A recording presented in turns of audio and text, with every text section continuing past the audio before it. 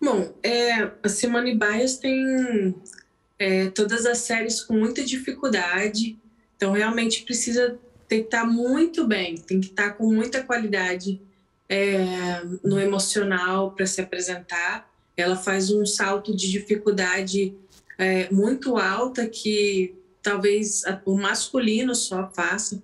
É, e algumas meninas treinam, mas ela conseguiu, sabe, se apresentar. Então, é, tem que ter esse equilíbrio. E se ela não estava se sentindo bem, eu acho que sim, é, é nobre da parte dela admitir que não está bem, é, porque é o corpo que paga, né? Eu acho que eu sou um exemplo disso, porque a dificuldade realmente é muito grande, a gente se cobra, é, o técnico cobra, a, a, né, a, todo mundo está ali em cima.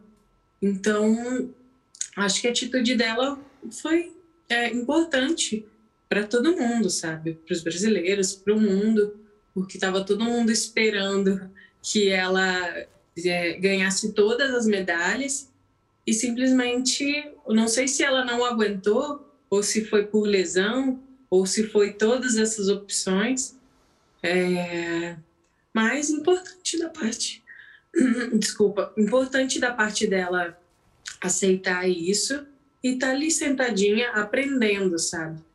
Tá é, humildemente aprendendo e sentindo a pressão da competição, a pressão do mundo. E ela, ela agradeceu muito, ela recebeu uma é, assim, milhares e milhares de mensagens de apoio de pessoas famosas, não famosas, de esportistas, atletas, ex-atletas.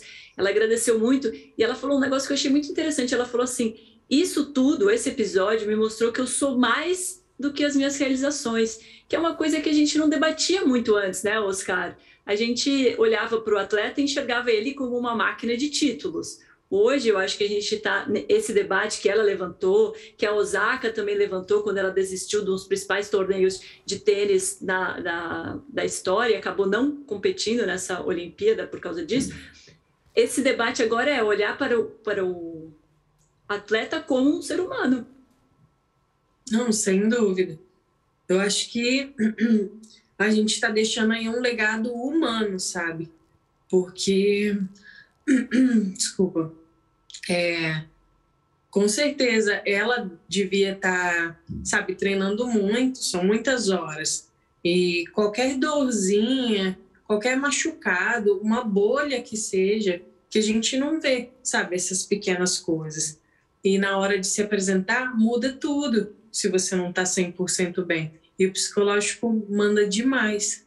E eu acho que o mundo está mais sensível para enxergar isso, até mesmo a pandemia é, deixou a gente mais, é, mais caseiro. As meninas passaram por um momento de ter que treinar em casa porque não podia ir para o ginásio.